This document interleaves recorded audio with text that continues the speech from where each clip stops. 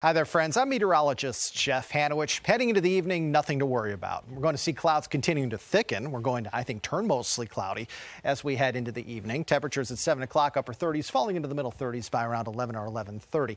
Going to feel chilly outside, but nothing is going to happen this evening. Frankly, most of tonight looks pretty quiet, but of course, we are tracking that storm system to the south and to the west of us. It's heading to the northeast, and as it does, it's certainly going to be a player in our weather here as we head into Friday.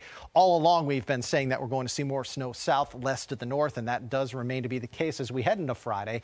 Temperatures at 8 a.m. in the lower 30s, highs in the mid to upper 30s. We're going to start to see some snow showers moving into our far southwesternmost counties uh, anytime between roughly maybe 6 a.m. and around 9 a.m. And then we're going to start to see a little more snow overspreading the region here as we head into the uh, morning and afternoon hours. I think this all will taper off for us here as we head into Friday night. All right, so we've got winter storm warnings in effect through Friday night for Grayson, Carroll, and also Patrick counties up farther north, including with Floyd, Franklin, Henry, Pittsylvania, and Halifax counties. That's where we have winter weather advisories. Again, these go into effect Friday morning, scheduled to expire Friday night. Your weather headline showing that this is indeed a system that has a favorable track for wintry weather, but the problem is the temperature profiles and the amount of dry air is going to, I think, hold down snowfall totals, at least for, for some of us.